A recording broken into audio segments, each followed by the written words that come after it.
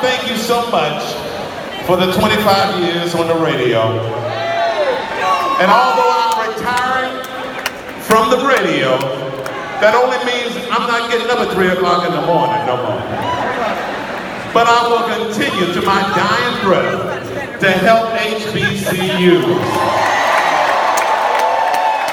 And so the cruise will continue. And students who are in HBCUs will still do scholarships for them. Thank you, thank you, thank you for a wonderful radio career. I love you. Love I love you. And like I said, if you want more, you can come to Charlotte. I'm on my way. I love you, please. Thank you. Somebody make some noise for Tom Joyner! Now, we have a tradition at the time the morning show was started by Ms. Dupree and Myra J.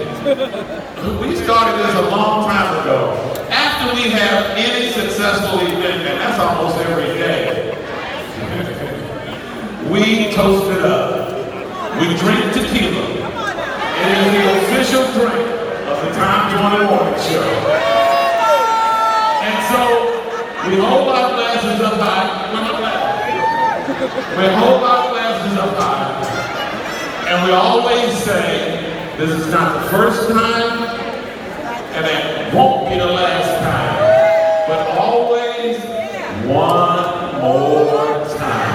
So,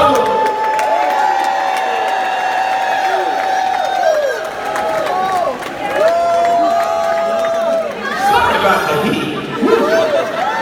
Tom, no, I don't drink, but I'll tell